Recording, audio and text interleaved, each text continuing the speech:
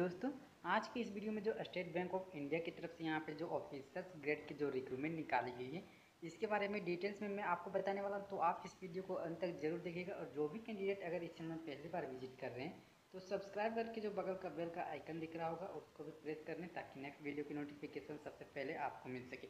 सबसे पहले यहाँ पर बात कर लेते हैं, इस फॉर्म को आप कब से कब तक आवेदन कर सकते हैं? तो जो स्टार्टिंग डेट आपको यहाँ पे जो बोली गई है रजिस्ट्रेशन करने के लिए या फिर पेमेंट करने के लिए दोनों के लिए जो आपको डेट यहाँ पे जो आपको मैसेज की गई, सत्ताईस जुलाई इसका स्टार्टिंग डेट यहाँ पे रखी गई एंड जो लास्ट डेट आपको रखी गई है, सोलह अगस्त इसका लास्ट डेट यहाँ पे रखी गई है। तो जो भी कैंडिडेट अगर आप जो है एस में अपना करियर बनाना चाहते हैं तो सत्ताईस जुलाई से लेकर सोलह अगस्त तक जो इस फॉर्म को आप ऑनलाइन आवेदन कर सकते हैं। ठीक है? नीचे में आपको यहाँ पे देख पाओगे कि किस किस के सीटें यहाँ पे बनाई गई, जो कि आपका स्टेट के वाइज आपको यहाँ पे डिस्ट्रीब्यूट की गई है। यहाँ पे सर्कल दी गई है एन आपको स्टेट दी गई है। गुजरात के लिए अगर बात करें तो टोटल सीट जो है 750 यहाँ पे टोटल सीटें हैं। कर्नाटका के लिए भी 750 है। मध्य प्रदेश के लिए जो है आपका दो सौ छियानवे टोटल सीटें हैं। छत्तीसगढ़ के लिए जो 104 यहाँ पे टोटल सीटें हैं। तमिलनाडु के लिए 550 यहाँ पे टोटल सीटें हैं। तेलंगाना के लिए भी 550 यहाँ पे टोटल सीटें हैं। एंड राजस्थान के लिए तीन सौ टोटल रिक्रूटमेंट है। महाराष्ट्र जो जो कि इंक्लूडिंग मुंबई के अनुसार आपको 517 टोटल सीटें हैं। एंड गोवा के लिए तैंतीस सीटें हैं। तो जो टोटल रिक्रूटमेंट यहाँ पे जो निकाली गई एस बी आई की तरफ़ से, तीन हज़ार आठ सौ पचास टोटल रिक्रूटमेंट निकाली गई जो कि बहुत ही बड़ी वैकेंसी यहाँ पे निकाली गई एस बी आई के द्वारा। आप किस कैटेगरी से आते होंगे तो यहाँ से कैटेगरी के अनुसार भी आप चूज़ कर सकते हैं। कैटेगरी वाइज आपको यहाँ पे डिस्ट्रीब्यूट की गई है। तो आप यहाँ से अपना कैटेगरी के अनुसार चूज़ करके अगर इसमें अप्लाई करना चाहते हैं एलिजिबिलिटी क्राइटेरिया होगा इसके लिए तो आप बिल्कुल ही इसके लिए आवेदन कर सकते हैं। एलिजिबिलिटी क्राइटेरिया की बात करें तो जो आपका एजुकेशन क्वालिफिकेशन आपको ली जा रही है तो जो अब अगर आपने किसी भी स्ट्रीम में अगर आपने ग्रेजुएशन कर रखे हैं, कोई भी स्ट्रीम में आए आर्ट्स साइंस कॉमर्स किसी में भी अगर आपने ग्रेजुएशन कर रखे होंगे तो आप बिल्कुल इसके लिए आवेदन कर सकते हैं। एंड साथ में आपका दो साल का एक्सपीरियंस भी आपको यहाँ पे ली जा रही है। एज क्राइटेरिया यहाँ पे देखिए तो जो एज क्राइटेरिया आपको यहाँ पे बोली गई है मैक्सिमम यहाँ पे थर्टी ईयर्स यहाँ पे बोली गई है, जो कि आपका एक आठ दो हज़ार बीस के अनुसार यहाँ पे गणना की जाएगी। तो अगर आपका जो डेट ऑफ़ बर्थ होगा, दो आठ उन्नीस सौ नब्बे के पहले के नहीं होना चाहिए, इसके बाद का अगर आपका होगा डेट ऑफ़ बर्थ तो आप बिल्कुल ही इसके लिए आवेदन कर सकते हैं। एंड आगे में यहाँ पे जो एज के जो रिलैक्सेशन आपको दी जा रही है तो कैटेगरी वाइज आपको यहाँ पे दी जा रही है।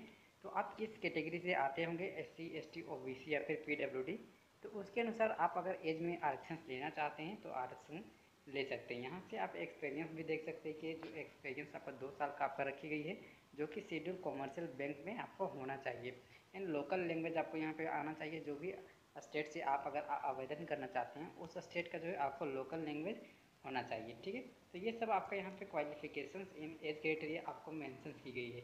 आगे मैं यहाँ पे देख पा कि जो आपका कैटेगरी के अनुसार आपके यहाँ पे जो कोड वाइज आपको रखी गई है तो जिस टाइम आप इस फॉर्म को अप्लाई कीजिएगा, उस टाइम जो है अपना कैटेगरी या कोड यहाँ पे आप फिल कर सकते हैं। सिलेक्शन प्रोसीजर की बात करें तो जो सिलेक्शन आपको यहाँ पे ली जा रही है, यहाँ पे जो सिलेक्शन प्रोसेस यहाँ पे जो बोला गया शॉर्ट लिस्ट एंड इंटरव्यू तो यहाँ पे अगर शॉर्ट लिस्ट होते हैं, उनको जो इंटरव्यू आपको ले जाएगी। एंड इंटरव्यू के बाद जो आपका जो कंडक्ट यहाँ पे ली जाएगी रिटर्न एग्जामिनेशन ये आपका तीनों माध्यम से जो आपको यहाँ पे शॉर्ट सिलेक्शन ली जा रही है। तो शॉर्ट लिस्ट होते हैं तो आप उसके बाद इंटरव्यू ली जाएगी। इंटरव्यू में जो लोग यहाँ पे क्वालिफाई कर जाते हैं, उनको जो बैंक के द्वारा आपका पर्सनल जो रिटर्न एग्जामिनेशन होता है, वैसे आपको यहाँ पे जो रिटर्न एग्जामिनेशन के थ्रू आपको सिलेक्शन ली जाएगी। अगर इम्प्लीमेंटेशन की बात करें तो जो बेसिक पे स्केल आपको यहाँ पे दी जा रही है तो आपको कैटेगरी के अनुसार आपको यहाँ पोस्ट के अनुसार आपको यहाँ से जो है सैलरी आपको दी जा रही है। तो स्टार्टिंग में आपका जो है, तेईस हज़ार सात सौ रुपये आपको पर मंथ आपको यहाँ पे सैलरी आपको प्रोवाइड की जाएगी।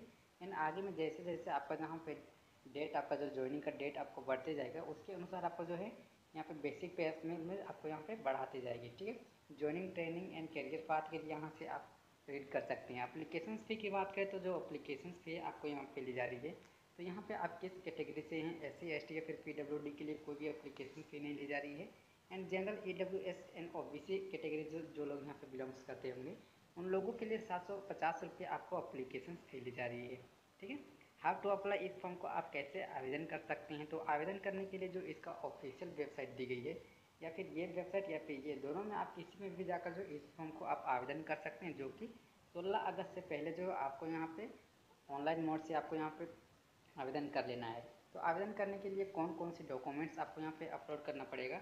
तो नीचे में आप देख पा रहे हो जो लिस्ट ऑफ़ डॉक्यूमेंट जो कि अपलोड करने के लिए आपको यहाँ पे जो बोला गया कि recent pass photograph signature ID proof जो कि पीडीएफ साइज़ में, जो प्रूफ डेट ऑफ़ बर्थ का आपका पीडीएफ साइज़ में आपको कन्वर्ट करके आपको अपलोड करना पड़ेगा। यहाँ पे पूरी डिटेल्स में आपको बताई गई कि क्या क्या डॉक्यूमेंट्स आपको यहाँ पे ली जा रही है टेंथ ट्वेल्थ का मार्कशीट ये सब आपका पूरे डिटेल्स में आपको यहाँ पे दिए गए हैं। तो अगर आप इस फॉर्म को आवेदन करना चाहते हैं तो यहाँ पे हाउ टू अप्लाई देख पा रहे हो, इसमें जो आपका पूरी प्रोसेस आपको यहाँ पर बताई गई है कि कैसे जो इस फॉर्म को आप स्टार्टिंग से यहाँ पे रजिस्ट्रेशन कैसे करना है पेमेंट कैसे करना है, या फिर डाउनलोड ऑफ़ कॉल लेटर्स कैसे करना है, यहाँ पे पूरी डिटेल्स आपको बताई गई है एंड बायोमेट्रिक वेरिफिकेशन भी आपको यहाँ पे बोली गई है। तो यहाँ पे पूरी प्रोसेस आपको बताइए स्टेप वाइज आपको यहाँ पे बताइए क्या क्या डॉक्यूमेंट आपको अपलोड करना है, कब से कब तक, क्या के भी आपको क्या लग रहा है। तो यहाँ से जो है आप पूरी डिटेल से रीड करके जो है इसको आप अप्लाई कर सकते हैं। अगर आपके पास इसके अनुसार एलिजिबिलिटी क्राइटेरिया होगा तो ठीक है?